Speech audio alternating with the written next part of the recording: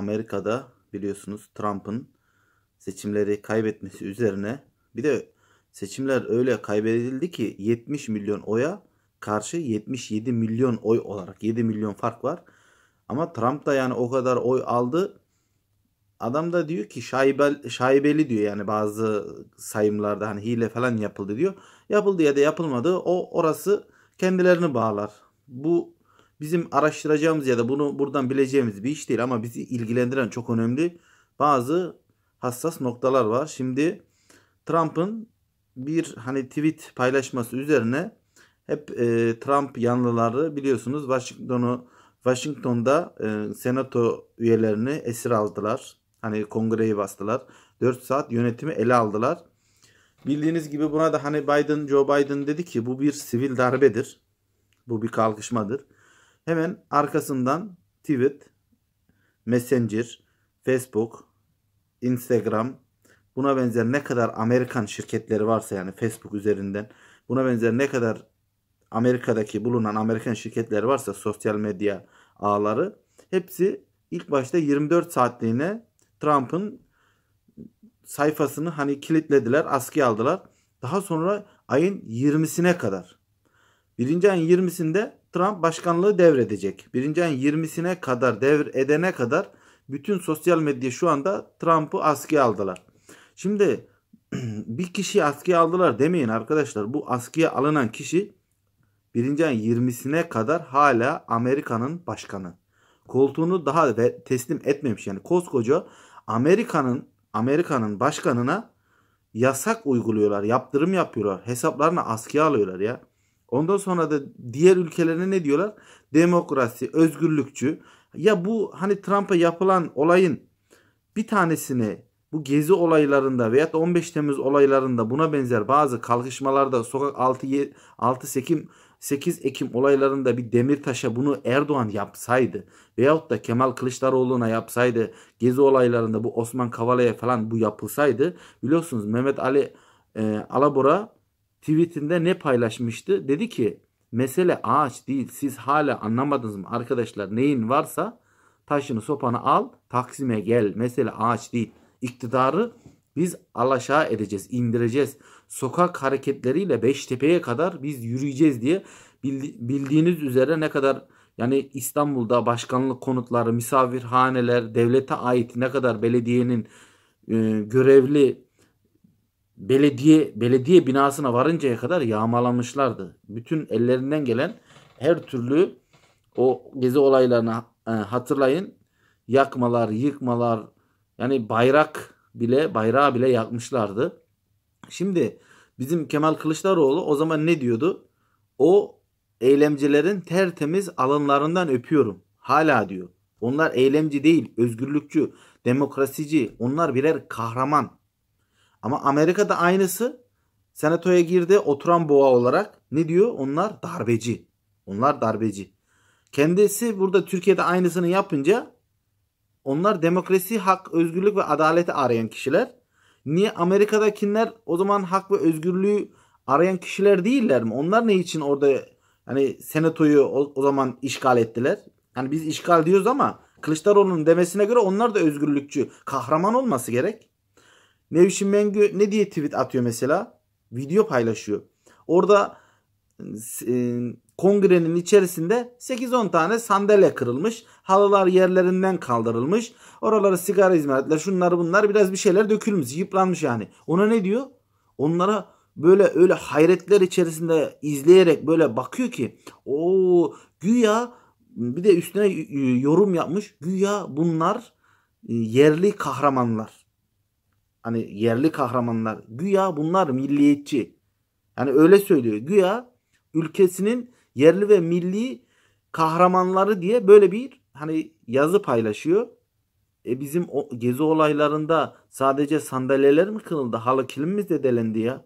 Adamlar günlerce, haftalarca, aylarca camileri bile ahıra çevirdiler. Neredeyse bira şişeleri vardı ya. Camilerin içerisinde halıları, kilimleri kaldırdılar. Sokakları mahvettiler. Ne kadar belediye araçları varsa ateşe verdiler ya. İstanbul, Taksim'i yaktılar, yıktılar ya. Bütün ne kadar belediye binalarına hepsini bastılar ya. Niye o zaman onlara kalkıp da demediniz ki ne? bunlar vandalizmus hani bunlar ortalıkları yakıyor yıkıyorlar. Niye demediniz? Niye sivil darbe peşinde demediniz onlara? Onlar demokrasi için sokaktaydı. Ama aynısı Washington'da e, Trump yapınca tabii Biden'ın yalakası olduğunuz Biden'ın e, seçimlere girmeden önce biz muhalefetle işbirliği yapacağız. Erdoğan'a karşı mücadele sergileyeceğiz. Erdoğan'ı indireceğiz. CHP'yi destekleyeceğiz dediği için yalakalık yapıyorsunuz.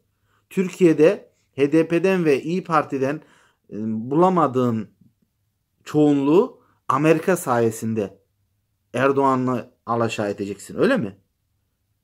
Sen ne zaman nereden yerli ve millisin peki o zaman? Nasıl olacak bu iş?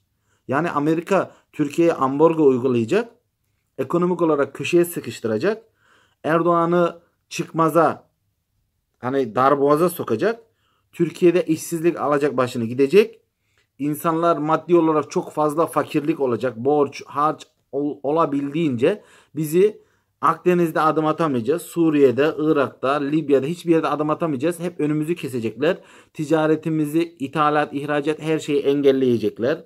Bizi Yunanistan'la karşı karşıya getirip Yunan'ı destekleyecekler. Ermeni'ye karşı bizi köşeye sıkıştıracaklar. Her yerden elimizi kolumuzu bağlayacaklar. Erdoğan'ın hiçbir çıkarı kalmayacak. Erdoğan artık ekonomik bunalıma girecek. Halk ayaklanacak. Beştepe'ye yürüyecek. Beştepe'yi hani halkın isyanıyla Erdoğan'ı ya erken seçime ya da koltuğundan e, indirmeye, sivil darbeye kadar götüreceksin. Sonra sen iktidar olacaksın. Ülke mahvolmuş, harap olmuş bir şekilde olacak o zaman. Sen de ondan sonra yerliyim ve milliyim diyeceksin öyle mi? Bu anlama geliyor. Sen Biden'la iş tutman demek Erdoğan'ı Erdoğan'ın kuyusunu kazmak demek. Erdoğan'ın kuyusunu kazmak Türkiye'nin kuyusunu kazmak demek. Sen Türkiye'nin kuyusunu kazacaksın. Türkiye çukura düşecek. Sen de o çukurda küçücük bir yerdeki Türkiye'nin iktidarı olup ondan sonra da ben bu iktidarlık bana yeter deyip bir aylık, beş aylık, bir senelik iktidar koltuğuna oturup ülkeyi soyabildiğin kadar soyacaksın. Ondan sonra ülke nereye giderse gitsin öyle mi? Böyle mi düşünüyorsunuz? Böyle mi millisiniz? Böyle mi yerlisiniz? Siz sizin ne olduğunuzu biliyoruz. CHP olarak, yöneticiler olarak, İstanbul'un il başkanı olarak, Ekrem İmamoğlu olarak ne olduğunuzu biliyoruz biz sizin. Ne olduğunuzu tamamen iyi biliyoruz da sizin tabanınız tabanınız niye bilmiyor? Onlar Erdoğan sırf Erdoğan karşıtlığı için size oy atıyorlar. Sırf Erdoğan karşıtlığı için. Peki Erdoğan'ın karşıtlığı yani sırf Erdoğan'ı sevmediğin için CHP'ye oy atıyorsun ama kendi ayağını sıktığının farkında mısın? Kendi oturduğun ağacı kesiyorsun ya. Aşağıya sen düşeceksin ya. Aklını başına topla ya. Kafayı mı yedin? Akl yani oturduğun ağacı kesiyorsun ha. Erdoğan giderse ülke batarsa batsın nereye giderse gitsin dediğin zaman gerçekten ülke batacak. Nereye giderse gitsin ne yapacaksın o zaman? En fazla 5 gün ya. En fazla 5 gün nefes alırsın. Erdoğansız. Onda sonra ne olacak? O uykudan uyandığın zaman o gördüğün rüya 5 günlük rüya hayali cennet Haşhaşilerin aynı Hasan Sabah'ın dünyada gösterdiği sahte cennet 5 gün yaşadın. Ondan sonra ne olacak?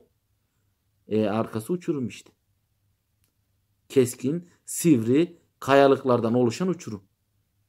Ondan sonra da sonunu artık kendin kendin kendin düşün yani. Sonunu kendin düşün. Yere nasıl çakılacaksın onu kendin düşün. Orası da size kalmış. Biz burada anlatıyoruz. Gösteriyoruz yani söylüyoruz. İster inanırsın ister inanmazsın. Bundan sonrası size kalmış. Evet beni izlediğiniz için dinlediğiniz için teşekkür ederim.